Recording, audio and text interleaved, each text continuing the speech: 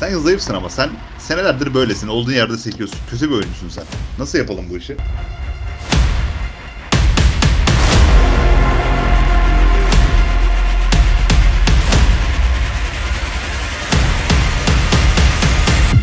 Onun aslında durum tam tersi. Sen beni zor bela kesiyorsun. Hatta kesemiyorsun bile. Sen beni tam kesecekten benim internetim kopuyor mesela.